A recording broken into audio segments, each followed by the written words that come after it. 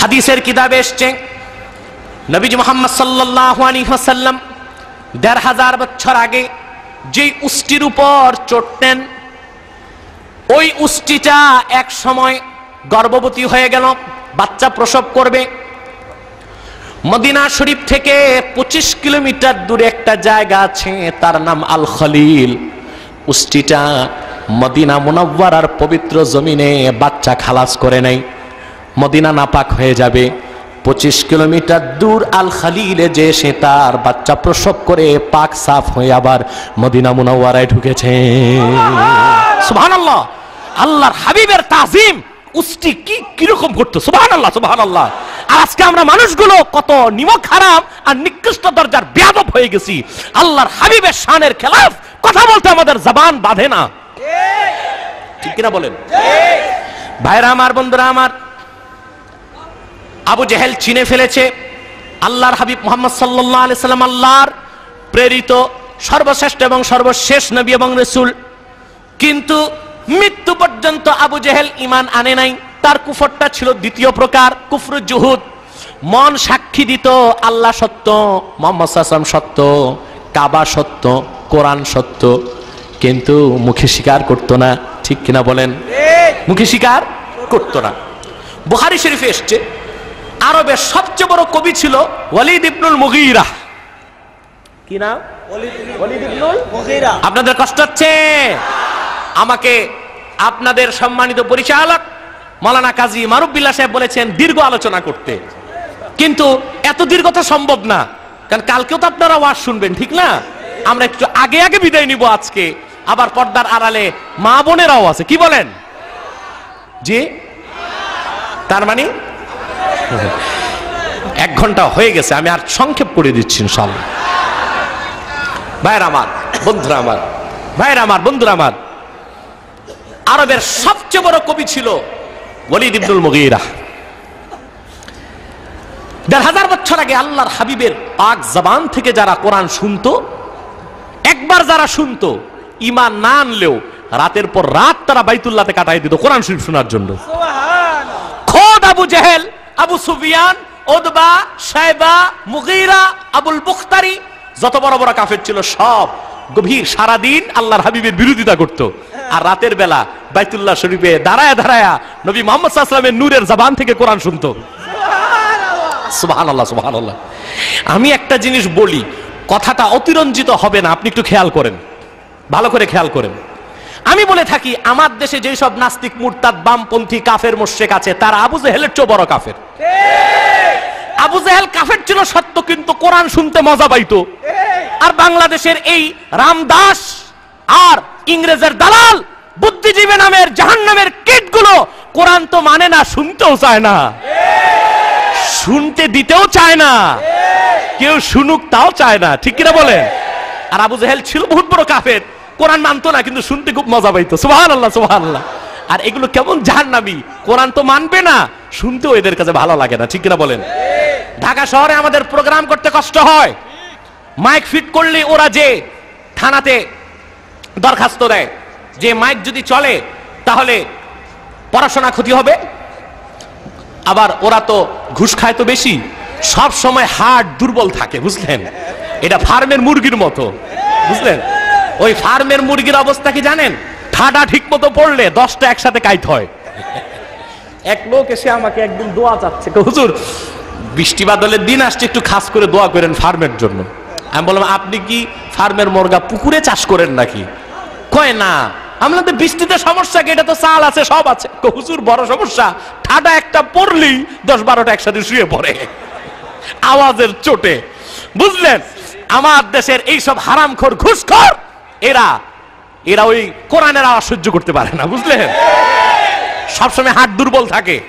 তো যে পুলিশকে টাকা পয়সা দেয় মাইক বন্ধ করো, পড়াশোনা ক্ষতি হবে। কোরআনের আওয়াজে পড়াশোনা ক্ষতি হয়, কিন্তু থার্টি ফার্স্ট নাইটের নামে, পহেলা বৈশাখের নামে গোটা ঢাকা শহরকে তোমরা জাহান নামে টুকরা বানায় দাও। তাতে তোমাদের ক্ষতি হয় না, পড়াশোনার ক্ষতি হয় না, কিন্তু দুই চার ঘণ্টা কোরআনের আওয়াজ সহ্য করতে যারা পারে না, খোদার কসম তার আবু জেহেলের চবর কাফের।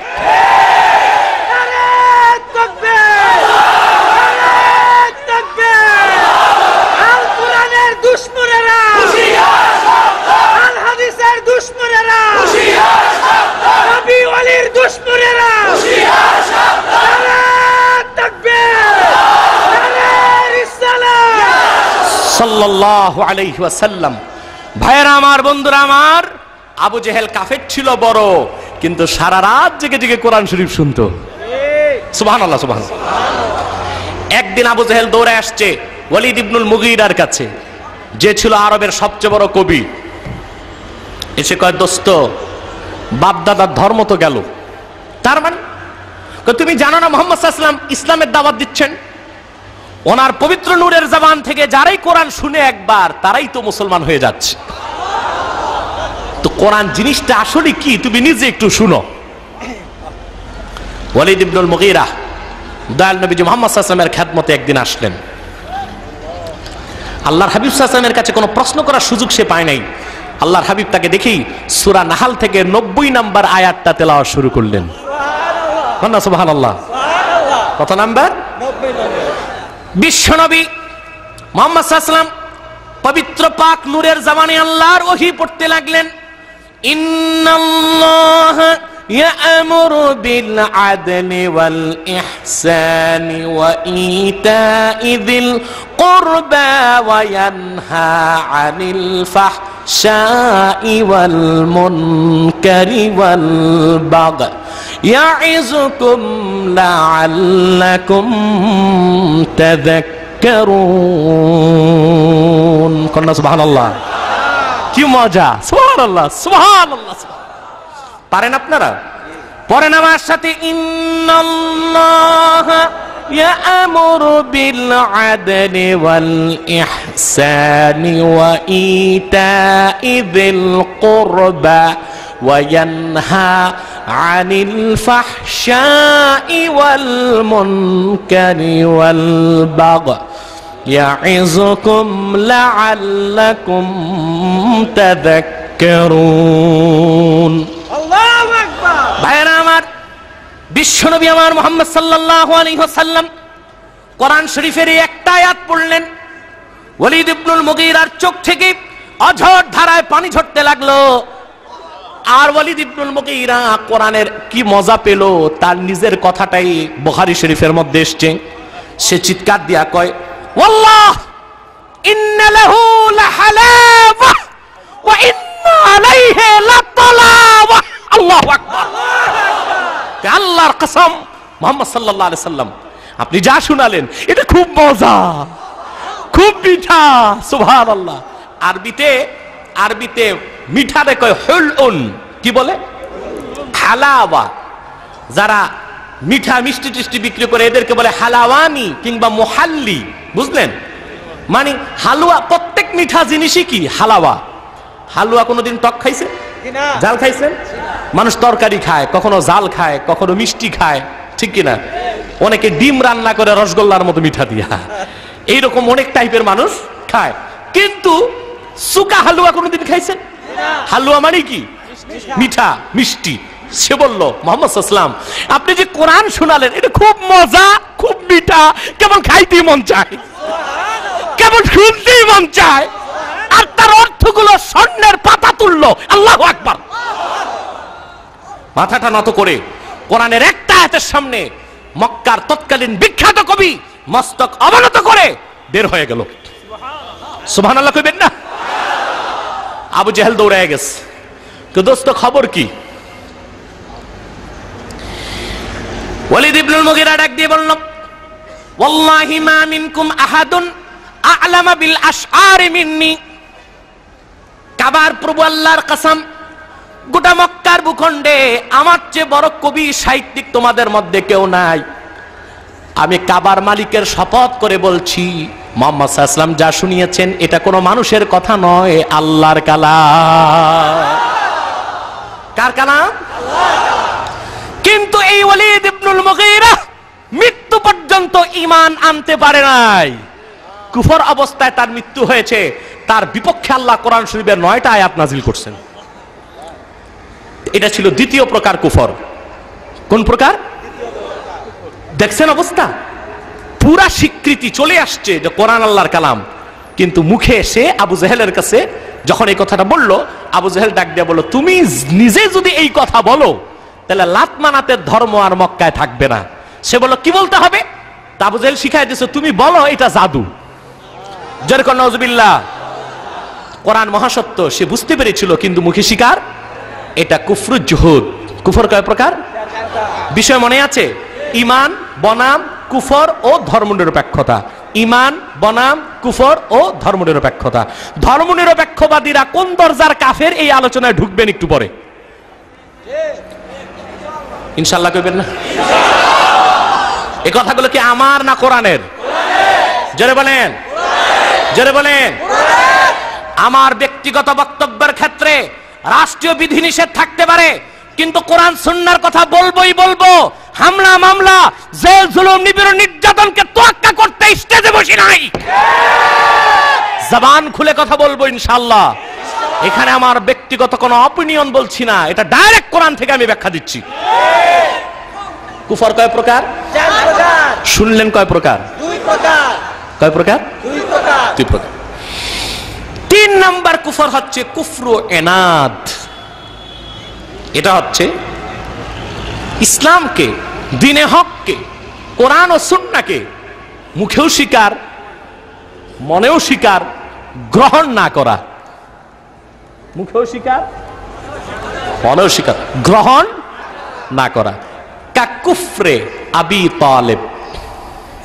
ইমাম বাগাবি উদাহরণ দিয়েছেন। কাকুফরে আবি তালেব। যেমন নবীজি মোহাম্মদ সাল্লামের আপন চাচা ছিলেন আবু তালেব। উনি ইসলামকে মনেও স্বীকার করেছিলেন, মুখেও স্বীকার করেছিলেন, কিন্তু গ্রহণ করতে পারেন নাই এটা ছিল তিন নাম্বার কুফর। কোন নাম্বার? এটার নাম কি? কুফরু এনাত কুফরু এনাত আবু তালেব আল্লাহর হাবিবকে দিনে হক ইসলামকে কেমন চিনতে পেরেছিলেন? আল বেদায় আওয়ান নেহায়ের ভিতরে ইবনু কাসির লিখেছেন, আল্লাহর হাবিবের দাবাত চতুর্দিক যখন ছড়ায় গেল, কাফেররা মোশেকেরা দেখল, দাওয়াত ইসলামকে নির্যাতন, নিপীড়ন করে ঠেকানো যাবে না।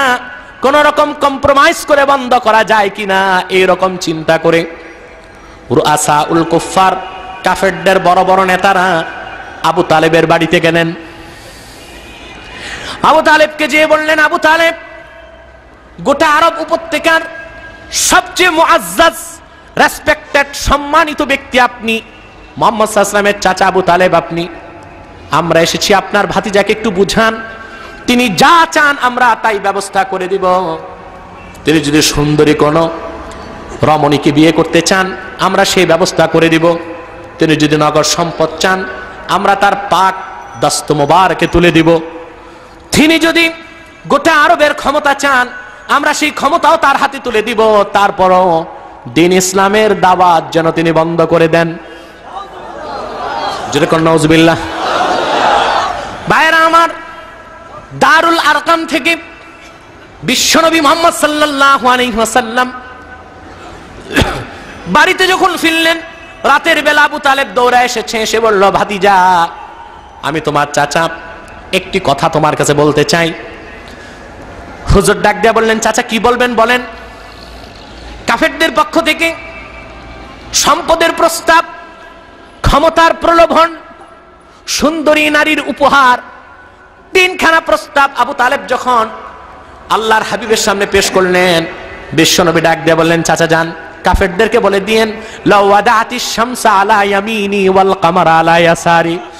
কাফের মুশরিক কুরাইশরা সূর্যটা যদি আমার ডান হাতেই তুলে দেয়, পূর্ণিমার চাঁদ যদি আমার বাম হাতে তুলে দেয় এক মুহূর্তের জন্য আমি দিনে হক ইসলামের দাওয়াত বন্ধ করব না। ভাইরা আমার, বন্ধুরা আমার, সকালবেলা কাফেরেরা জবাব নিতে আসলো। শেব আবি তালেব এখনও আছে মক্কায়। আবু তালেব উপত্যকার উপর দাঁড়ালেন। আবু জেহেল সাহেবা নিচে দাঁড়ায় রইলেন। আবু তালেব আল্লাহর হাবিবের পক্ষে একটা খুতবা দিলেন। ইমাম বাগাবি রওয়ায়াত করেছেন।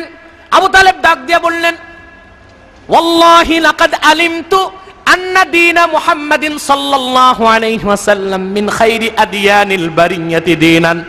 আল্লাহর কসম আল্লাহর কসম।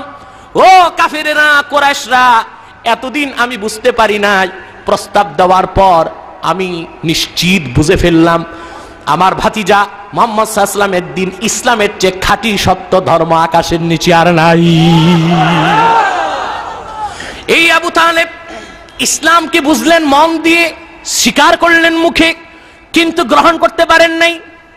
সহি মুসলিম প্রথম খণ্ডে একখান হাদিস এসছে হাদিস এসছে, লাম্মা যা আবাদ তালিবিনিল ওয়াফাত। আবু তালেবের যখন মৃত্যু ঘনায় আসলো মৃত্যু সজ্জায় তিনি যখন শায়িত, নবী আমার দয়াল নবী, রহমতের কান্ডার বিশ্বনবী মোহাম্মদ ওয়াসাল্লাম বিদায় বেলা চাচাকে ইমান শিক্ষা দেওয়া যায় কিনা আ- আরেকবার কোশেষ করলেন। হুজুর যখন আবু তালেবের বাড়িতে আসলেন, এসে দেখেন কাফেরদের মধ্যে সবচেয়ে কট্টর দুই কাফের আবু তালেবের সামনে বসে আছে, একটা আবু জেহেল আরেকটা আবু সাফওয়ান। একটা আবু জেহেল, আরেকটা আবু সাফওয়ান। আবু সাফওয়ান মানে উমাইয়া ইবনু খালাফ। উমাইয়া ইবনু খালাফ। মানে আবু জেহেলের ডাইন হাত যেটা সেকেন্ড ইন কমান্ড মানে জাহিল্লায় না থাকলে যে কাজ চালাবে ওই রকম কাফের একটা। মানে কাছাকাছি। এই দুইটায় বসে আছে আবু তালেবের মাথার কাজ। বিশ্বনবী ডাক দিয়ে বললেন, কুল ইয়া আম আশহাদু আন লা ইলাহা ইল্লাল্লাহ ওয়া আশহাদু আন্না মুহাম্মাদান আবদুহু ওয়া আমার চাচা, তুমি একবার মৃত্যুর সময় আমার দিন ইসলামের কলেমা শাহাদাতটা পড়ে নাও। কবরে, মিজানে, পুলসিরাতে, সব জায়গায় আল্লাহ তোমাকে মাফ করে দিবেন। বেহেশতে আল্লাহ তোমাকে দাখিল করে দিবেন। ভাইরা আমার, আবু জেহেল আর উমাইয়া ইবনু খালাফ আবু জেহেলের কানের, আবু তালেবের কানের কাছে যে বলল, আবু তালেব, আত্মার গব আন মিল্লাতি আব্দুল মুত্তালেব। ওরে আবু তালেব, সারাটা জীবন তুমি আব্দুল মুত্তালেবের দিনকে গ্রহণ করে থাকলা, পত্তলির কথাকে বিশ্বাস করলাম মৃত্যুর সময় তুমি কি তোমার বাবার ধর্মটা ছেড়ে দিবা নাকি কোন নজবিল্লাহ ভাইরা আমার, সহি মুসলিম সাক্ষী, আবু তালেব ইসলাম চিনলেন ইমান চিনলেন, কোরআন সুন্না সবলেন মুখেও স্বীকার করলেন, মনেও স্বীকার করলেন, কিন্তু গ্রহণ করলেন না। লোকটা দুনিয়ার থেকে বিদায় নেওয়ার পর আল্লাহর হাবিবের সাথ করেছেন সাহি বুখারির হাদিস, আমার চাচা আবু তালেবকে আল্লাহ পাক জান্নাত দিবেন না, কারণ সে ইমান আনে নাই। আল্লাহ তারে জাহান্নামে দিবেন। তবে সেই বুখারিতে এসছে, জাহান্নামীদের মধ্যে আল্লাহ পাক সবচেয়ে কম শাস্তি দিবেন আবু তালেবকে।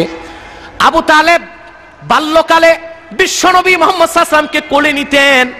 নবীজি মোহাম্মদ সাল্লাল্লাহু আলাইহি ওয়াসাল্লামের নবীজি মোহাম্মদ সাল্লাল্লাহু আলাইহি ওয়াসাল্লামের নূরের জিসিম মুবারক আবু তালেবের দেহেতে লেগেছিল। এই জন্য তার দেহের জন্য আল্লাহ পাক জাহান্নামের আগুনকে হারাম করে দিয়েছেন। জাহান্নামের মধ্যে আবু তালেবের পায়ের মধ্যে শুধু এক জোড়া আগুনের জুতা পরিধান করায় দেওয়া হবে। আর কোন জায়গায় তার শাস্তি হবে না। দেহের কোথাও আগুন লাগবে না। বোখারিতে এসছে, কিন্তু ওই আগুনের জুতার প্রচণ্ড তাপদাহে আবু তালেবের মাথার মগজ ফুটন্ত পানির মতো টকবক করে ফুটতে থাকবে। আবু তালেব ইমান না আনার কারণে যদি বেহেস্তে যেতে না পারে, তাহলে বাংলাদেশের কিছু পীরের কাছে হিন্দুরাও যায়। ঠিক না বলেন? খ্রিস্টানরাও যায়। ওই দেখেছি মানিকগঞ্জে কোন পিসা পোস্টার লাগাইছে, সকল ধর্মের লোক যাইতে পারবে। সিটাগাঙ্গে কোন পীর সাহেব আছে, উনি ওনার খানকার নাম দিছে বিশ্ব মানব খানকা। বুঝলেন নি মানে এখানে কোনো ধর্ম টর্ম নাই, সব ধর্মের লোক যেতে পারবে। আর ওনার তাসাউফের দীক্ষা পাইয়া বেহেস্তে যাবে কোন নজবিল্লা যদি আবু তালেব ইমান না আনার কারণে বেহেস্তে যেতে না পারে, তো দুনিয়ার কোনো মানুষের পক্ষে ইমান ছাড়া বেহেস্তে যাওয়া সম্ভব হবে না। ঠিক কিনা বলেন? কুফর কয় প্রকার? তিন প্রকার। কয় প্রকার? চার প্রকার। কয় প্রকার শুনলেন? তিন প্রকার। চতুর্থ প্রকার কুফর হচ্ছে কুফরু নেফাক। কুফরু নেফাক। অর্থাৎ সত্যকে, কোরআন, সুন্নাকে, ইসলামকে মুখে স্বীকার, মনে অস্বীকার। মুখে স্বীকার, মনে অস্বীকার। কথাটা বুঝেন নাই? কথা বুঝেন নাই? আবার বলছি, কুফরু এনকার হচ্ছে মুখেও অস্বীকার, মনেও অস্বীকার। কুফরু জুহুদ হচ্ছে মুখে অস্বীকার, মনে স্বীকার। কুফরু এনাদ হচ্ছে মুখেও শিকার, মনেও শিকার, গ্রহণ না করা। আর কুফরু নেফাক হচ্ছে মুখে শিকার মনে অস্বীকার এটা হলো আসর দরজার কাফের। ঠিক কিনা? এর মানে মোনাফেক। এর মানে? আমার আলোচনা বুঝতেছেন? এর মানে এটা কি? মোনাফেক। ঠিক কিনা বলেন? অর্থাৎ যার মধ্যে নেফাক আছে। কি আছে? নেফাক আছে। অর্থাৎ মুখে ইসলামের স্লোগান আর মনে আছে সেরেক, কুফর আর ধর্মনিরপেক্ষতা। ঠিক কিনা বলেন? ঠিক কিনা বলেন? ভাইরা আমার এই নেফাক আবার দুই প্রকার। একটা নেফাক ফিল এতেকাদ আর একটা নেফাক ফিল আমাল। মুনাফেক আবার দুই প্রকার। চিন্তা করেন কতগুলো ক্লাসিফিকেশন হয়ে গেছে। একটা একটা করে আলোচনা করলে আমারই বারো দিন দিয়ে দিতে হবে। কথা বুঝলেন নাই? মানুষ তিন প্রকার। কয় প্রকার। মমিন মোনাফেক কাফের। কাফের আবার চার প্রকার। কুফর চার প্রকার। এর মধ্যে এক প্রকার মোনাফেক। মোনাফেক আবার দুই প্রকার। নেফাক দুই প্রকার। একটা নেফাক ফিল এতেকাদ আর একটা নেফাক ফিল আমাল। যার আকীদার মধ্যে নেফাক থাকবে, সে কট্টা কাফের। আর যার আকীদা ঠিক থাকবে, আমলের মধ্যে নেফাক থাকবে, সে ফাসেক মুনাফেক। মুনাফেক দুই প্রকার। একটা কাফের মুনাফেক আর একটা ফাসেক মুনাফেক। মোল্লা আলী কারি রহিমাহুল বাহারি মিসকাতে সরামের কাতে এই দুইটা ভাগ করেছেন। যেমন হাদিস শরীফের মধ্যে এসছে। চারটা খাসলত, যার কটা খাসলত? জোরে বলেন। ভালো করে দেখেন। ইদা তুমি না খান, ও ইদা আহাদা গাদারা, ও ইদা ও ইদা আহাদা গাদারা ওয়াইদা হাদ্দাসা কাদাবা ওয়াইদা আহাদা ওয়াইদা খাসামা ফাজারা। চারটা খারাপ বৈশিষ্ট্য যার মধ্যে চলে আসবে, সে খাঁটি মুনাফেক, সে কি? জোরে বলেন। অর্থাৎ আমানত রাখলে খেয়ানত করবে, আমানত রাখলে খেয়ানত করে। কথা যখন বলে, মিথ্যা বলে। ওয়াদা করলে বরখেলাফ করে। আর যখন বিতর্ক শুরু হয়, বিতর্ক হয়, ঝগড়া হয়, তখন একজন আরেকজনকে গালিগালাজ করে। কি করে? গালিগালাজ করে। এই চারটা খারাপ খাসলত যার ভিতরে থাকবে, সে খাঁটি মুনাফেক। মোল্লা আলী কারি লিখেছেন, যদি তার আকীদার মধ্যে কোনো নেফাক না থাকে, কিন্তু এই চারটা খাসলত থাকে, সে মুনাফেক, কিন্তু তার নাম ফাসেক মুনাফেক। কি মুনাফেক? আর যার আকীদার মধ্যে নেফাক থাকবে, সে হচ্ছে কাফের মুনাফেক। আকীদার নেফাক কোনটা? সেটা হচ্ছে মনে ইসলাম নাই, মুখী ইসলাম। বুঝতে পারছেন? মুখে ইসলাম, মনে ইসলাম নাই। আমার দেশে যারা টুপি লাগায়, দাঁড়িয়ে আছে, জুমার নামাজ পড়ে, পাঁচক্ত নামাজ পড়ে, বারবার হজও করে, তাদের মুখে যখন ধর্ম নিরপেক্ষতার কথা শুনি, আমাদের চোখের সামনে ভেসে উঠে, এরা হচ্ছে খাঁটি মুনাফেক। ঠিক কিনা বলেন? মুখের ইসলামটা নির্বাচনে জিতার জন্য। টুপিটা নির্বাচনে জিতার জন্য, দাড়িটা নির্বাচনে জিতার জন্য, ঠিক কিনা বলেন? নামাজ আর হাজি উপাধিটা ভোট পাওয়ার জন্য, কিন্তু ধর্ম নিরপেক্ষতার মারাত্মক কুফর তার মনের ভিতরে থাকার কারণে সে মুনাফেক, কাফের হয়ে গেছে। ঠিক কিনা বলেন? ঠিক কিনা বলেন? অথবা কুফর কয় প্রকার? চার প্রকার। যারা ধর্মনিরপেক্ষতায় বিশ্বাস করবে, তাদের মধ্যে নেফাক ফিল এতেকাদ আছে। অর্থাৎ তাদের আকীদার মধ্যে কুফর আছে। আকীদার মধ্যে কুফর আছে। কোন অবস্থায় তারা নিজকে মুসলমান দাবি করতে পারে না। এবার আসেন ধর্মনিরপেক্ষতার ব্যাখ্যা নেন। ধর্মনিরপেক্ষতাকে ইংরেজিতে বলে সেকুলারিজম। কি বলে? আর যে ধর্মনিরপেক্ষ, তাকে বলা হয় সেকুলারিস্ট। কি বলা হয়? যারা শিক্ষিত যুবক আছেন, আমি আল্লাহকে সাক্ষী করে বলছি আমার এই বক্তব্যে কেউ যদি কোন রাজনীতির গন্ধ খুঁজতে চান, খোদার গজবে হালাক হয়ে যাবেন। আল্লাহর কাসেম করে বলছি, আমি এবং আমার খানদানের কোন একজন ব্যক্তি বাংলাদেশের কোন রাজনীতির সাথে সম্পর্ক নাই। কোন রাজনৈতিক দলের দালালি আমরা করি না। কিন্তু এটা হচ্ছে মারাত্মক আকিদার কথা। এই জন্য আমি বলছি আপনাকে, আজকে যে ডিকশনারি খুলে দেখেন, আজকে যে ডিকশনারি খুলে দেখেন, সেকুলারিস্টের অর্থ কি? স্পষ্ট লেখা আছে, the man who has no religion. যে ব্যক্তির কোনো ধর্ম নাই, সে হচ্ছে ধর্মনিরপেক্ষ আমি জানতে চাই, আপনাদের ধর্ম আছে না নাই? চিল্লা বলেন, আছে না নাই? সেই ধর্মের নাম হচ্ছে দিন ইসলাম। সেই দিন ইসলামের জন্য প্রয়োজনে রক্তের প্রত্যেকটি ফোঁটা ঢেলে দিতে আমরা প্রস্তুত আছি, ইনশাআল্লাহ। অতএব আমরা যারা মুসলমান, আমরা যারা মুসলমান, তারা কোনোদিনও কোন সংজ্ঞায় ধর্মনিরপেক্ষ হতে পারি না। কথা বুঝতে পেরেছেন? আমাদের ধর্ম আছে। আর সেটা একমাত্র সত্য ধর্ম। তার নাম দিন ইসলাম। যে ধর্মকে আল্লাহ বলছেন, দিনুল্লাহ, আল্লাহর ধর্ম। কন্যা সুবাহ আল্লাহ জোরে কন্যা সুবাহ আল্লাহ দিন ইসলামের সতেরোটা নাম আছে। কয়টা? আল্লাহ কোরআনে বলেছেন, ফি দিন ইসলাম আসেন আর একটা কথা। হিন্দুর পক্ষে ধর্ম নিরপেক্ষ হওয়া সম্ভব। কারণ তার ধর্ম থাকলেই কি আর না থাকলেই কি? বরং না থাকলেই ভালো। খ্রিস্টান ব্যক্তির পক্ষে ধর্ম নিরপেক্ষ হওয়া সম্ভব। কারণ তার সে পঙ্গু মিথ্যা ধর্ম, প্যারালাইসিস ধর্ম, থাকলেই কি আর না থাকলেই কি? ইহুদির পক্ষে ধর্ম নিরপেক্ষ হওয়া সম্ভব। সেটা থাকলেই কি আর না থাকলেই কি? ঠিক কিনা বলেন?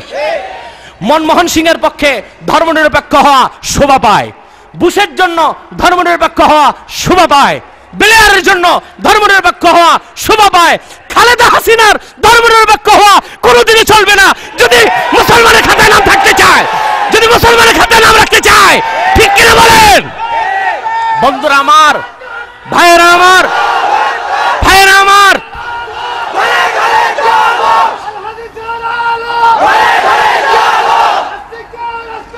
জ্বালিয়ে দাও পুড়িয়ে দাও নাস্তিকদের আস্তানা জ্বালিয়ে দাও পুড়িয়ে দাও নাস্তিকদের ভাইয়েরা আমার ভাইয়েরা আমার, বন্ধুরা আমার, আমাকে এই বছর আমার অনেক সুরিত আমার বন্ধু, আমার অনেক মুরব্বী আমাকে নসিহত করেছে কথাবার্তা রেস্ট্রিকশন করে বলার জন্য। কিন্তু আমি বলেছি, বোবা শয়তান হয়ে হাসর ময়দানে উঠার চেয়ে দুনিয়ার থেকে বিদায় নেওয়া আমার কাছে অনেক প্রিয়।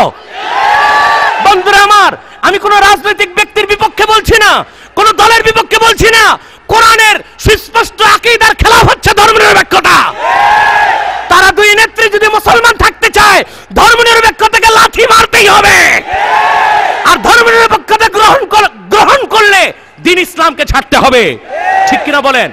এটা যে কোনো ব্যক্তির জন্যই প্রযোজ্য। ধর্মনিরপেক্ষতা একটা কুফুরি আকিদা। কুফুরি আকিদা কুফুরি আকিদা। কোন মুসলমান এই আকিদায় বিশ্বাসী হতে পারে না। কোন মুসলমান এই আকিদায় বিশ্বাসী হতে পারে না। আমি অত্যন্ত অধৈর্য হয়ে গেছি। একটু জিকির করে নেন। আমরা দ্রুত মুনাজাতে চলে যাব। তারপর আজকে ইমানের বয়ান শুনলাম, তার সম্পূর্ণ বিপরীত কুফর ও কাফের বয়ান শুনলাম। কাফেরদের মধ্যে সবচেয়ে বড় কট্টর কাফেরদের বিরুদ্ধে সোচ্চার হওয়ার আহ্বান করে আমি মুনাজাতে চলে যাব ইনশাল্লাহ আর একটা মানুষ দাঁড়াবেন না, বসেন। বসে যান। বেহায়ার মতো কাজ করবেন না। হাজার হাজার মানুষের গর্দান ডিঙ্গি আপনার যাওয়ার দরকারটা কি? কিছুক্ষণ পরি মুনাজাত হয়ে যাবে। যারা দাঁড়িয়ে আছেন, যদি পারেন বসে যান। আর মহব্বতের সাথে জোরে সোরে একটু জিগির করে নেন আরও জোরে জোরে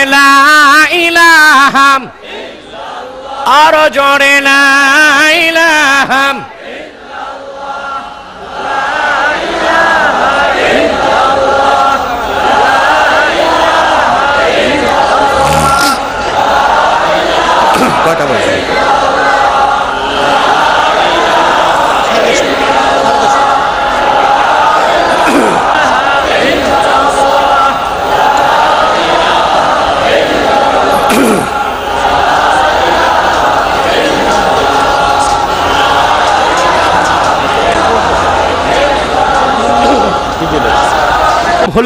দয়া করে আল্লাহ ইমানটারে ছিনায় দিও না।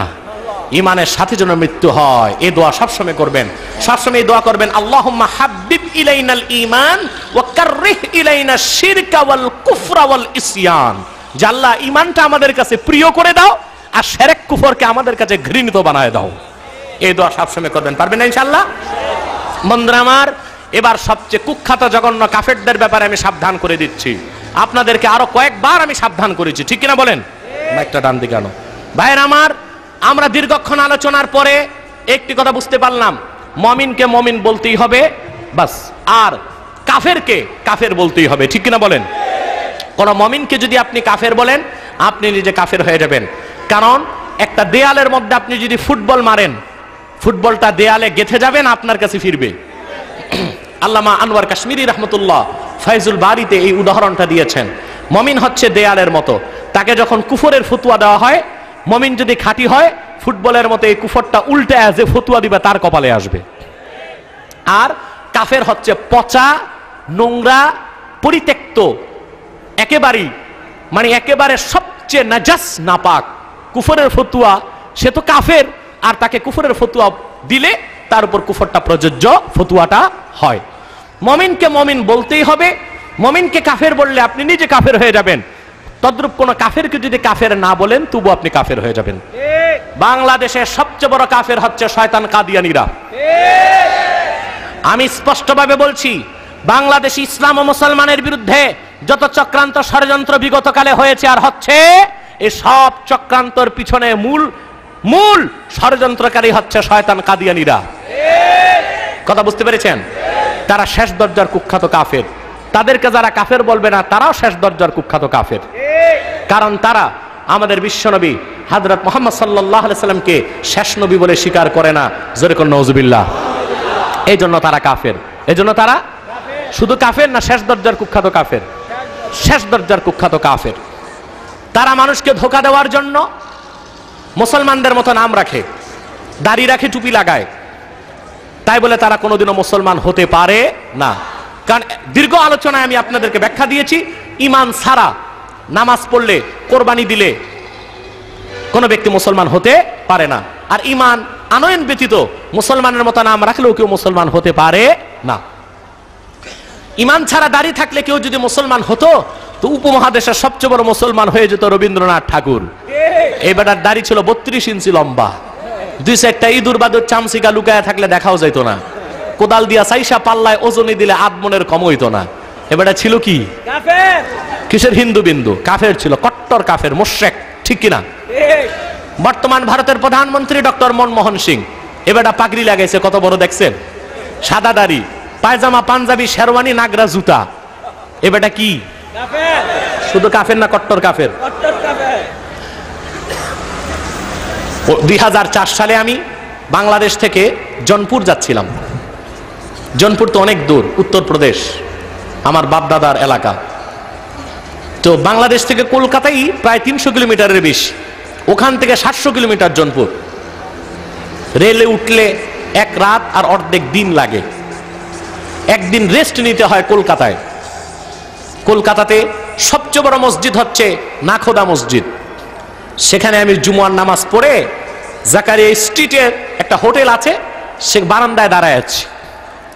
এখন দেখলাম জুমার নামাজের ঠিক পর পর মসজিদের মূল ফটকে নাদুস নুদুস এক লোক, মাথায় জালির টুপি, লম্বা সাদা পাঞ্জাবি, আলিগুড়ি পায়জামা।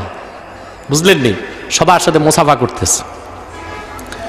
আমি হোটেলের ম্যানেজারকে জিজ্ঞেস করলাম লোকটাকে পশ্চিম বাংলার মানুষ, কথাও কয় কোষ্টি কোষ্টি হাসও কোষ্টি কোষ্টি মুখে হাত দিয়া কয়, দাদা, ওনার নাম পিজি দত্ত। কি নাম? তার মানে প্রাণ গোপাল দত্ত। আমি বললাম, হিন্দু? হিন্দু মানে খাস ব্রাহ্মণ, ঘোষ পরিবারের সন্তান। মানে একেবারে হিন্দু যেটা কট্টর, একটা পূজাও বাদ দেয় না। ওই হিন্দু। আমি বললাম, তো এই লোকটা মসজিদের গেটে কি করে? উনি সামনে ভারতের লোকসভা নির্বাচন, আর উনি হচ্ছে পার্লামেন্ট মেম্বার। উনি আসছে একটু মুসাফা করে ভোট টোট পাওয়া যায় কিনা? আমি বললাম, উনি তো দুইটা অপরাধ করছে। একটা চরম বেয়াদবি মসজিদের গেটে দাঁড়াইছে। আর চরম ধোকাবাজি মারাত্মক প্রতারণা করছে সে। মুসলমানের লেবাস লাগায় এসেছে। টুপি পাঞ্জাবি আর পায়জামা লাগানোর দরকারটা কি ছিল? ও তো পৈতা লেংটি আর ধুতি লাগেই আসতে পারতো। কয় দাদা ধোকাবাজি দেখলেন কি? উনি না কেবল টুপি লাগাইছে পায়জামা পাঞ্জাবি লাগাইছে। গেলবার তো ওনার বড় ভাই এসে নামাজও পড়ছে।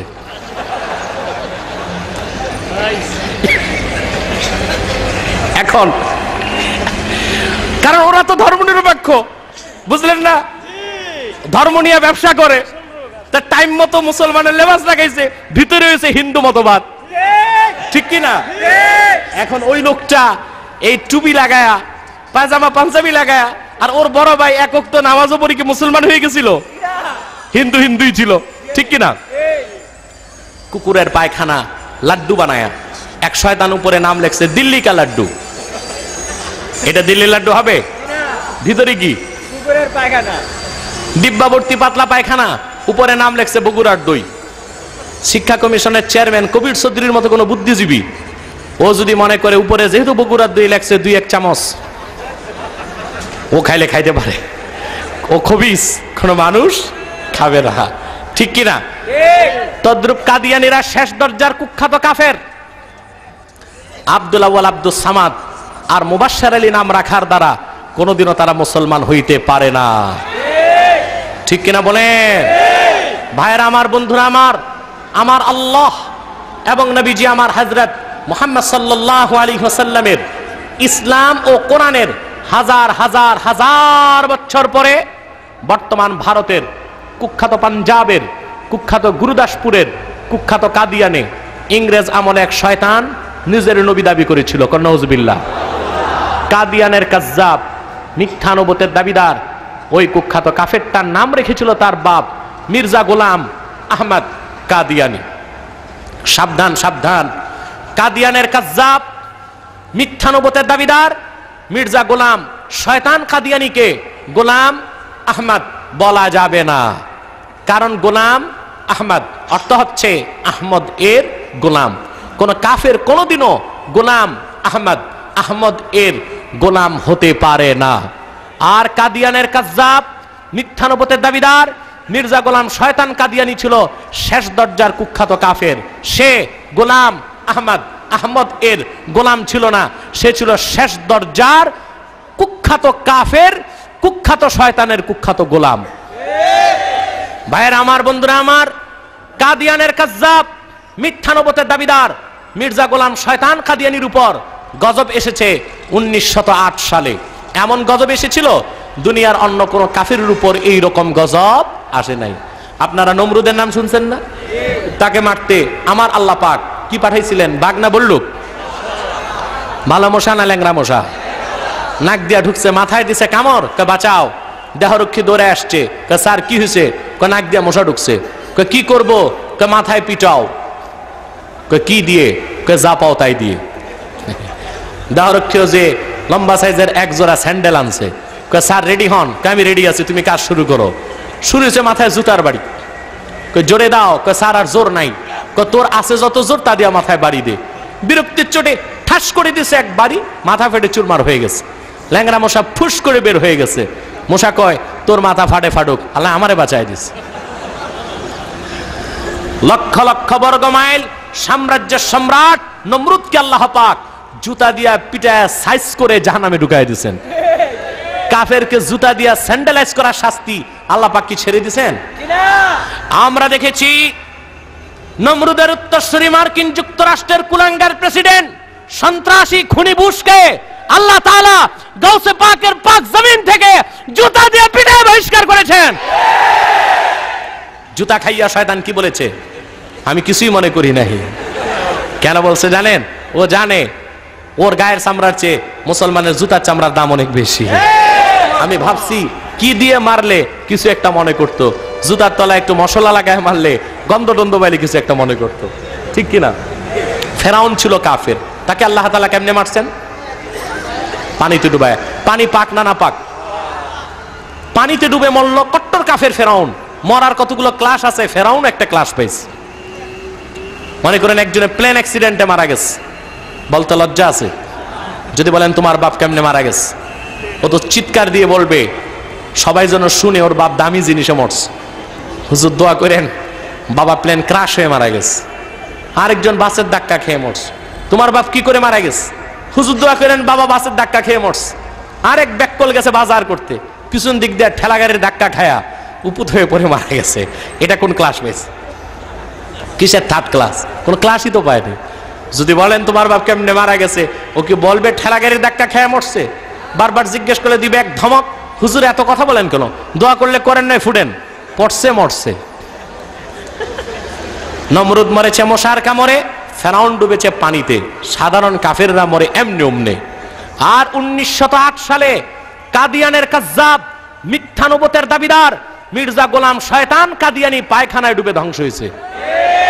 যখন গজব আসছে, কাদিয়ানের কাজ্জাব মিথ্যানুবতের দাবিদার, মির্জা গোলাম শয়তান কাদিয়ানি পায়খানা ভেঙ্গে ডিগবাজি খাইয়া গুমুতের হেড অফিসে দাখিল হয়েছে। কুত্তাটা জনমের তরে পেশাব পায়খানা খেয়ে মরা শুয়োরের মতো ফুলে গেছে। কাদিয়ানিরা ডাকছে মেথর মেথর এসে ভালো হয়েছে, শয়তান জায়গা মতো গেছে। শয়তান উঠাও মেথর বলে এই শয়তান উঠাইলে মেথরও শয়তান হয়ে যাবে। কাদিয়ানের কাজ্জাব মিথ্যানবতের দাবিদার, মির্জা গোলাম শয়তান কাদিয়ানি উনিশশো আট সালে পায়খানায় ডুবে জাহান নামের কুখ্যাত কুকুর হয়েছে, তার অনুসারীরাও ধ্বংস হয়েছে। বর্তমানে কিছু কাদিয়ানি বাংলাদেশে আছে। যারা ইসলামের বিরুদ্ধে, মুসলমানের বিরুদ্ধে ষড়যন্ত্র করে যাচ্ছে, তাদেরকে বাংলার মাটি থেকে একেবারেই নির্মূল করে দেওয়া এদেশের মুসলমানদের দায়িত্ব। এজন্য আলেমদেরকে সবচেয়ে বেশি দায়িত্ব পালন করতে হবে। মাওলানা কাজী মারুবিল্লাহ সাহেব একজন সুপরিচিত বক্তা আলেম। এখানে আরেকজন বসে আছেন ভালো একজন আলোচক। চলে গেছেন নাকি?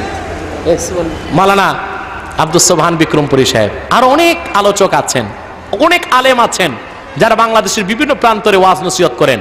আমি যেভাবে এই কাফের কাদিয়ানিদের বিরুদ্ধে কথাগুলো বললাম এ কথাগুলো আপনারাও বিভিন্ন জায়গায় বলে অন্য মানুষকে সতর্ক করে দিবেন। কোন মানুষ যেন তাদের ধোকায় পতিত হয়ে কাফের না হয়ে যায়। কথা বুঝতে পেরেছেন? কাদিয়ানিরা কাদিয়ানিরা শেষ দরজার কুখ্যাত কাফের। অন্য মানুষকে ধোকা দিয়ে কাফের বানানোর জন্যে তারা নাম বদলায় বদলায় মিথ্যা পরিচয় দেয়। কখনো নিজেদের পরিচয় দেয় আহমদি জামাত, কখনো বলে আহমদিয়া জামাত, কখনো বলে আহমদি সম্প্রদায়, কখনো বলে আহমদিয়া সম্প্রদায়, কখনো বলে আহমদি মুসলমান, কখনো বলে আহমদিয়া মুসলমান। সাবধান, যত কাদিয়ানি ছিল, আছে, থাকবে। তারা কেউ আহমদি জামাত নয়, আহমদিয়া জামাত নয়, আহমদি সম্প্রদায় নয়, আহমদিয়া সম্প্রদায় নয়, আহমদি মুসলমান নয়, আহমদিয়া মুসলমান নয়, তারা শয়তানি জামাত, কুখ্যাত জাহান নামের কুখ্যাত কুকুরের দল। আমাদের সকল দলের একটাই দাবি, অনতিবিলম্বে স্বাধীন বাংলায় শয়তান কাদিয়ানিদেরকে রাষ্ট্রীয়ভাবে অমুসলিম ঘোষণা করতেই হবে করতেই হবে করতেই হবে। এই দাবি আদায়ে যদি জান ও মাল দিতে হয়, কারা কারা রাজি আছেন হাত তুলে দেখান।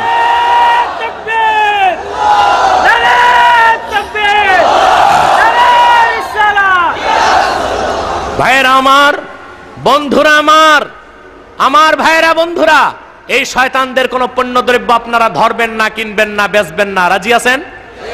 আমি সবসময় সাবধান করে দিচ্ছি। আমার দায়িত্ব আমি পালন করে যাচ্ছি। আপনাকে সতর্ক হতে হবে। ওদের চারটা জিনিস বাজারে বেশি পাওয়া যায়। একটা হচ্ছে প্রাণ। প্রাণ কোম্পানির যত জিনিস, এ শয়তানদের। সিজান কোম্পানির জুস, এ শয়তানদের। আর এফ এল এর যত জিনিস, এ শয়তানদের। প্রথম আলো নামের প্রথম অন্ধকার পত্রিকা এই শয়তানদের। এই চারটা জিনিস ধরবেন না, কিনবেন না, বেচবেন না। রাজি আছেন? কারা কারা? হাত তুলে দেখান। মোনাফিকি করবেন না। ভাইয়ের, আমার বন্ধুরা, আমার বিদায় বেলা একটি আর্জ আমি করে যাচ্ছি আপনাদের কাছে। হারাম থেকে দূরে থাকার চেষ্টা করবেন। হারাম হারাম হারাম।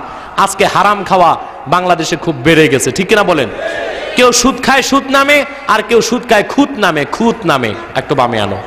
আপনারা হারাম থেকে বাঁচবেন, যার পেটে এক লোকমা হারাম খাদ্য ঢুকবে, চল্লিশ দিন তার এবাদত দোয়া কবুল হবে না হবে না। বিজাতিরা বিভিন্ন নামে, নেটওয়ার্ক বিজনেসের নামে, ইন্স্যুরেন্সের নামে তারপরে শেয়ার ব্যবসার নামে বিভিন্নভাবে হারামগুলোকে ঢুকায় দিচ্ছে। অনেক অনেক আলেম যারা কিতাবুল বুয়ু, হেদায়া কিতাবুল বুয়ু মোতালা নাই, ফতুয়ার কিতাবে কিতাবুল বুয়ু পড়ে নাই, তারা এইসব সুদি হারাম অর্থনীতির সাথে জড়িত হয়ে গেছে। ওই নাস্তিক কাফেররা তাদেরকে একটা বুঝ দেয়, সুদ নাই সুদ নাই, লাভে লসে লাভে লসে। শুধু লাভ লস থাকলেই, সুদ না থাকলেই জিনিসটা হালাল হবে এমন না। কিতাবুল বই অনুযায়ী অন্য কোনো কারণে হারাম আছে কিনা তা দেখতে হবে। যেমন, একটা গাভীর বানে দুধ আছে। দুধ দহন না করে বানের ভিতর দুধ রেখে দুধ কিনা অকাট্যভাবে হারাম। এখানে কি সুদ আছে? জোরে বলেন, সুদ নাই। সুদ থাকলেই হারাম, এটা হচ্ছে একটা অপপ্রচার। সুদ থাকলে জঘন্য হারাম। সুদ ছাড়াও বিভিন্ন কারণে ক্রয় বিক্রয় হারাম হতে পারে। গাভীর বানে দুধ রেখে দুধ কিনাটা কি? হারাম। দুইটা কারণে। একটা হচ্ছে এটা বাইয়ে ঝুল অজানা। দুধ এক পোয়া আছে না এক শের আছে আপনি জানেন না। দুই নাম্বার বাইয়ে গরার ধোকাবাজিও থাকতে পারে। দুধ একেবারেই না থেকে কাটা দিয়েও বান্ডারে ফুলায় রাখা যায়। দুধের জায়গায় পুজো থাকতে পারে। ঠিক কিনা বলেন? পুকুরে মাছ রেখে মাছ না তুলে ক্রয় বিক্রয় শরীয়তে হারাম। কারণ পুকুরে মাছ আছে, না ব্যাং আছে, না কাকড়া আছে, আপনি তো দেখতে পাচ্ছেন না। মাছও ফাল পারে, ব্যাঙও তো ফাল পারে। ঠিক কিনা বলেন? সেখানে কোনো সুদ নাই, কিন্তু সেটা ভাই এমা ঝুল হওয়ার কারণে ওইটা হারাম হয়ে গেছে। কি হয়ে গেছে? হারাম হয়ে গেছে। বাংলাদেশে বিভিন্ন নামে আজকে বিভিন্ন অর্থনীতি বের হয়েছে, যেগুলো কাতান হারাম, এসব হারাম জিনিসগুলো থেকে দূরে থাকবেন। যদি আলেমরা হারাম হারাম খাওয়া শুরু করেন, তো আওয়ামরা কাফের হয়ে যাবে। কারণ আবুল্লাহ সামারকান্দি। বারো শত বছর আগে তাম্বিহুল গাফিলিন কিতাব লিখেছেন। হানাফি মাজহাবের মুজতাহিদ ছিলেন। কথা বুঝতে পারছেন? পরিষ্কার তিনি তাম্বিহুল গাফিলিনে লিখেছেন, ইদা সারাল উলামাউ আকালাতাল হারাম, ফাসারাল আওয়ামু কুফারা যখন আলেমরা হারাম ভক্ষণকারীতে পরিণত হয়ে যাবে, তখন সাধারণ জনগণ কাফেরে পরিণত হয়ে যাবে। কারণ আলেম যখন হারামটারে গিলবে, হারামকে হারাম জেনেই গিলবে। হারামকে হারাম জেনে খাওয়ার কারণে আলেম হবে ফাসেক। কিন্তু আলেম একটা দেখে জাহেল মনে করবে, হালাল বলেই তো আলেম খাচ্ছে। জাহেল তখন হারামটাকে হালাল মনে করার কারণে কাফের হয়ে যাবে। অতএব ইমাম, আলেম যারা, মাদ্রাসা শিক্ষক যারা, অবশ্যই তাদেরকে হারাম থেকেও বাঁচতে হবে এবং সন্দেহযুক্ত জিনিস থেকেও বাঁচতে হবে। ডেস্টিনি ইন্স্যুরেন্স এবং শেয়ার বিজনেস যেগুলো বাংলাদেশে আছে, খোদার কসম করে বলি হারাম। যদি জায়েজ থাকতো, তাহলে আজকে আমি কোটি কোটি টাকার সম্পদ কামাই করতে পারতাম। ডেস্টিনিকে চার বছর আগে আমি চ্যালেঞ্জ দিয়েছি। এটা শরীয়তের খেলাফ, হারাম। যদি তোমাদের ক্ষমতা থাকে, বাইতুল মুকাররাম কনফারেন্স হলে আমি তোমাদের সাথে বসবো। যদি কোরআন সুন্না দিয়ে হালাল সাবেত করতে পারো, আমি সারা বাংলাদেশে তোমাদের পক্ষে অ্যাডভার্টাইজ করব। আর যদি হারাম হয়, প্রকাশ্যে সংবাদ সম্মেলনে তওবা করে তোমাদেরকে পত্রিকায় তা ছেপে দিতে হবে। কথা বুঝতে পেরেছেন? হারাম থেকে আলেমদেরকে বেশি বাঁচতে হবে আর সাধারণ জনগণকেও বাঁচতে হবে। কথা বুঝতে পেরেছেন? আপনারা হক্কানি মুফতি যারা আছে, যারা কারও টাকা খাইয়া চলে না, টাকায় ফতুয়া দেয় না, বুঝছেন? তাদের কাছে যে জিজ্ঞেস করবেন, তারা একেবারে কিতাব খুলে আপনাকে দেখায় দিবে, আমি যা বললাম তা ঠিক আছে কিনা। কথা বুঝতে পারছেন? আর আমার যে কথাগুলো বলি, এটার এটার বিপরীত যদি কোনো শিল্পী বা গায়ক কিছু বলতে চায়, বুঝবেন তার ভিতরে ঘাপলা আছে। কাবাব মে হাড্ডি হ্যায়, ডাল মে কুচ কালা হ্যায়। কথা বুঝতে পেরেছেন? আর এইসব গায়ক টায়ক, এরা মুফতি, মহাদ্দেশ কিছুই না। বাংলা চর্চা করে তারা ওয়াজ করে, আমি বলে দিলাম। প্রমাণ চাইলে বোখারি শরীফ খুলে দেন। খোদার কসম, এক পৃষ্ঠা পড়তে পারবে না এর দিয়া। ওই রিয়াদুস সালিহিনে জের জবর দেওয়া আছে, তর্জমাও আছে। পড়ে পড়ে হাদিস শোনায়, মনে করেন বড় মহাদ্দেশ হয়ে গেছে। পেটে বম মারলেও বোখারি শরীফ এক পৃষ্ঠা পড়তে পারবে না ইনশাআল্লাহ। কারণ তাদেরকে সব দেখা হয়ে গেছে আমার। আমি যা বলেছি মাসালাগুলো আপনি বড় বড় মাদ্রাসায় যে তাহকিক করে নিবেন। কথাগুলো ঠিক কিনা আপনি নিজেও দেখতে পারবেন। কোন ক্ষেত্রে কোন ক্ষেত্রে? অর্থনীতির ক্ষেত্রে। কোন ক্ষেত্রে জানতে বললাম? কথা বুঝেন নাই। এই যে মাসালাটা বললাম, হালালের ক্ষেত্রে। অর্থনীতির উপর কিছু কথা বললাম না? এই যে ডেস্টিনি, শেয়ার, ইন্স্যুরেন্স, এই ক্ষেত্রে যে কথাগুলো বললাম, আমি সঠিক ফতুয়া দিলাম কি না এটা যদি জানতে চান এই তিনটা ক্ষেত্রে ইন্স্যুরেন্সের ক্ষেত্রে ডেস্টিনির ক্ষেত্রে নেটওয়ার্ক বিজনেসের ক্ষেত্রে। তাহলে আপনারা বড়, আপনি নিজে চিন্তা করেন। আর যে ঘুষ খায় আর দেয়, উভয়টার উপর বৃষ্টির মতো আল্লাহ লানত বর্ষিত হয়। আমি বলে থাকি, সুদ খাওয়ার চেয়ে ভিক্ষা করা ভালো, ঘুষ খাওয়ার চেয়ে রিক্সা চালানো ভালো। সুবহান রব্বিকা, রব্বিল ইজ্জাতি আম্মা ইয়াসিফুন, ওয়া সালামুন আলাল মুরসালিন, ওয়ালহামদুলিল্লাহি রাব্বিল আলামিন।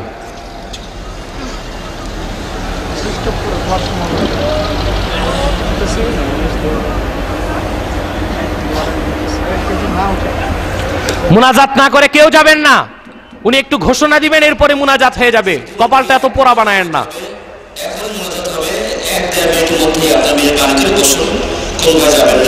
আগামীকালকে আমাদের আমন্ত্রিত মেহমানদের নাম জানিয়ে দিচ্ছি আগামীকাল মাগরিবের নামাজের পরপরই সর্বশ্রেষ্ঠ শিক্ষক ও বিজ্ঞানী আলম মোহাম্মদ اللهم ربنا آتنا في الدنيا حسنة وفي الآخرة حسنة وقنا عذاب النار اللهم اغفر لي ولوالدي وللمؤمنين يوم يقوم الحساب اللهم ارزقنا قلبا نقيا من الشرك بريا لا كافرا ولا شقيا الله تعالى পবিত্র ঈদে মিলাদুন নবী সাল্লাল্লাহু আলাইহি ওয়াসাল্লাম উপলক্ষে বারো দিন ব্যাপী পুস্তকলার মাঠে আয়োজিত। আজকের মাহফিলের প্রথম দিনের রাতে আল্লাহ তোমার হাজার হাজার বান্দা নিয়ে দুটো হাত পেতে দিয়েছি। আল্লাহ পাক দয়া করে আমাদের সকলের হজরত মোহাম্মদ ওয়াসাল্লাম আজ থেকে দেড় হাজার বছর আগে দুনিয়ার থেকে বিদায় নিয়েছেন। হায়াতুন নবী হিসেবে জান্নাতুল ফিরদাউসের টুকরা রওজা শরীফে বিশ্রাম গ্রহণ করেছেন। আল্লাহ তাআলা, জীবনে একবার তোমার হাবিব, নবীজি আমার হজরত মোহাম্মদ সাল্লাল্লাহু আলাইহি ওয়াসাল্লামের জান্নাতুল ফেরদাউসের টুকরা রওজা শরীফে উপস্থিত হয়ে গো আল্লাহ, তোমার হাবিব, নবীজি আমার হজরত মোহাম্মদ সাল্লাল্লাহু আলাইহি ওয়াসাল্লামের পাক নূরের চরণ মোবারকে দরুদ সালামের হাদিয়া পেশ করার আগে আল্লাহ তুমি ডাক দিও না। একবার কিংবা একাধিকবার যারা সোনার মদিনা, নূরের মদিনায় যেতে পেরেছি মদিনা মুনাব্বারায় জীবনে বারবার মদিনা মুনাব্বারা জিয়ারতের জন্য আল্লাহ তাদের রাস্তা তুমি খুলে দাও। আল্লাহ তোমার হাবিব নবীজি আমার।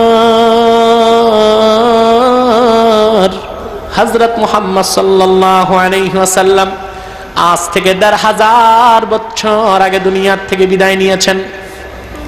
হায়াতুন নবী হিসেবে জান্নাতুল ফেরদাউসের টুকরা রওজা শরীফে বিশ্রাম গ্রহণ করেছেন। আল্লাহ তাআলা জীবনে একবার তোমার হাবিব নবীজি আমার হযরত মুহাম্মদ সাল্লাল্লাহু আলাইহি নূরের চেহারা মোবারক স্বপ্নে দেখে গো আল্লাহ, বেহেশত ওয়াজিব হবার আগে তুমি আল্লাহ ডাক দিও না।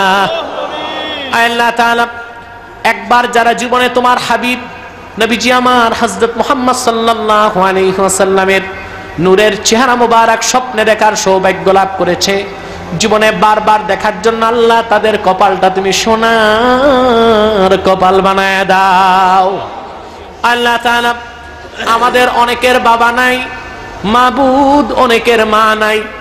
বাড়িতে যে বাবা বলে ডাক দিলে বাবার চেহারার কেউ দরজা খুলে দিবে না। কলিজা নিংরানো মধুর ডাক মা বলে ডাক দিলে মায়ের চেহারার কেউ দরজা খুলে তাকাবে না। যত মানুষের বাবা মা দুনিয়ার থেকে বিদায় নিয়ে আল্লাহ কবর দেশে চলে গেছে, সকল মমিন বাবা মার কবরকে আল্লাহ তুমি বেহেস্তের বাগান বানায় দাও।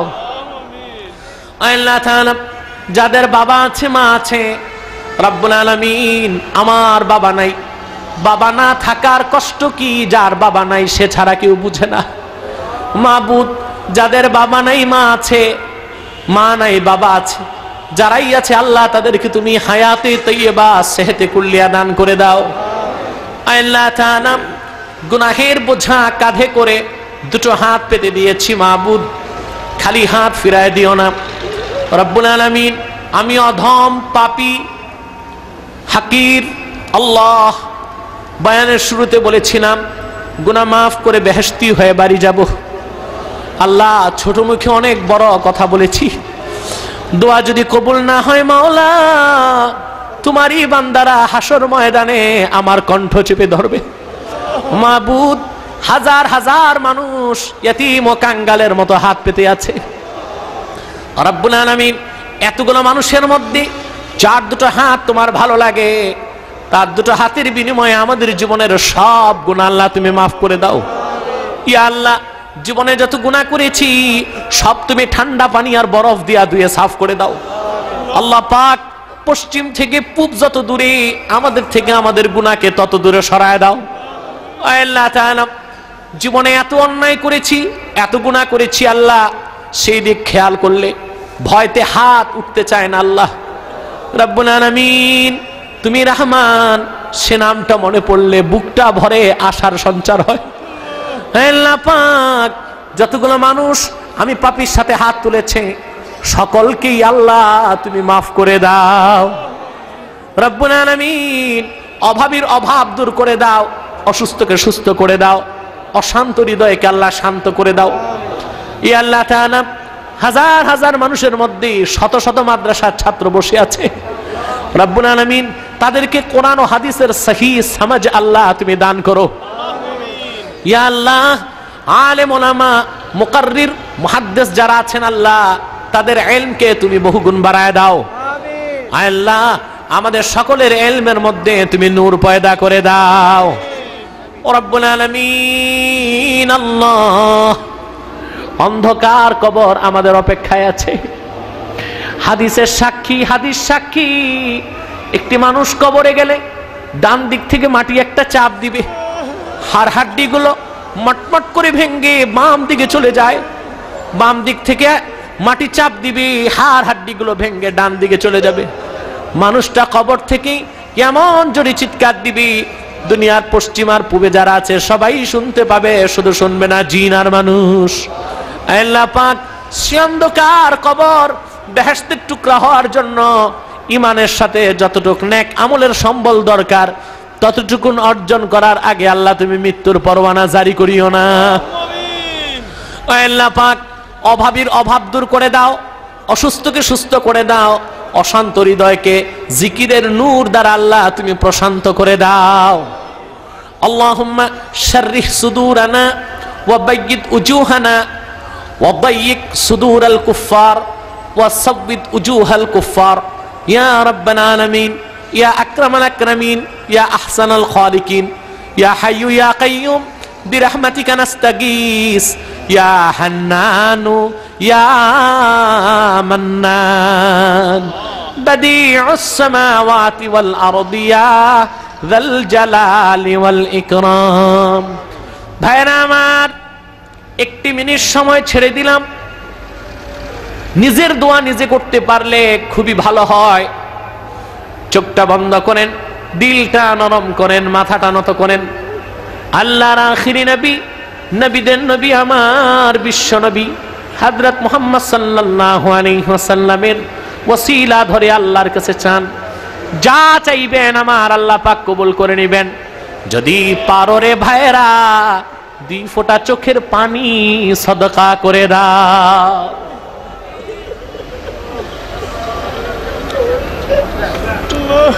কাঁদো বাবা, মনটা ভরে কেঁদে নাও। জীবনের সব গুণার কথা মনে করে নাও। আল্লাহ তালা চোখের পানি দণ্ড দেশে আসার আগেই মাফ করে দিবেন।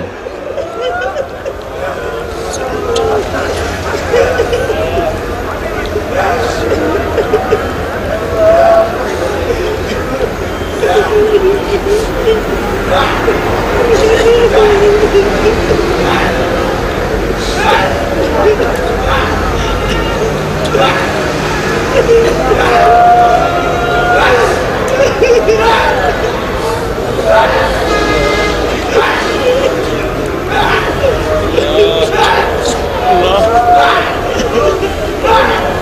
Ya Allah.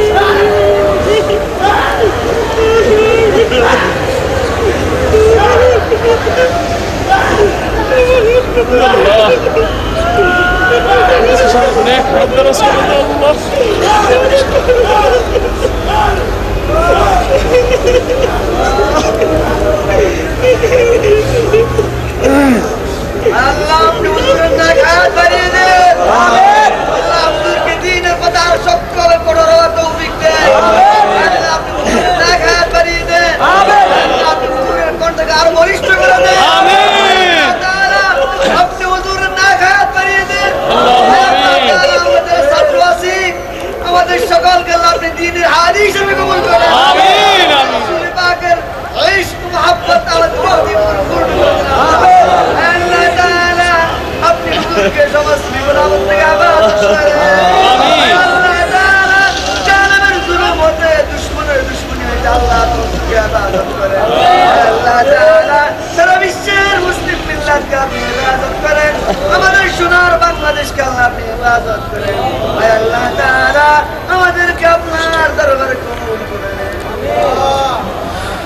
اللهم إنا نتوسل إليك بوسيلة حبيبك المحترم نبيك الخاتم سيدنا إمامنا محمد بن عبد الله نبي الله رسول الله صلى الله عليه وسلم الذي أكملت به قصر النبوة وحكمت أن لا نبي بعده وأعلنت في القرآن بالبرهان أن محمدا صلى الله عليه وسلم أربعة عشر مئات سنة. صلى الله تعالى على خير خلقه نور أرشه محمد وآله وأصحابه أجمعين. برحمتك يا أرحم الراحمين. السلام عليكم ورحمة الله تعالى وبركاته.